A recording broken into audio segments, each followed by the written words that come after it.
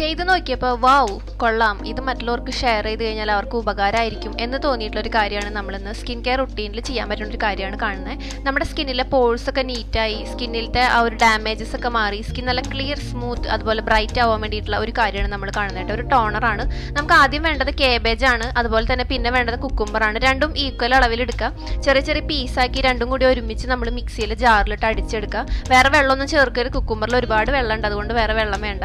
രണ്ടും കൂടി മിക്സ് ചെയ്ത് നമ്മൾ അടിച്ചെടുത്തിട്ട് ഇതാ ഇതുപോലെ തുണി വെച്ചിട്ടോ അല്ലെങ്കിൽ നമ്മൾ അരിപ്പ വെച്ചിട്ടോ അരിച്ചെടുക്കുക.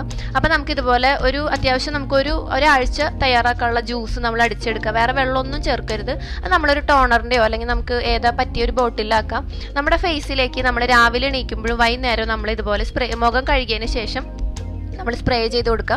അതൊന്ന് ഉണങ്ങാൻ വിടുക എനിക്ക് ഞാൻ ഒരു മാസം ഉപയോഗിച്ച്. നല്ല അടിപൊളി റിസൾട്ട് കിട്ടിയ കാര്യമാണ്.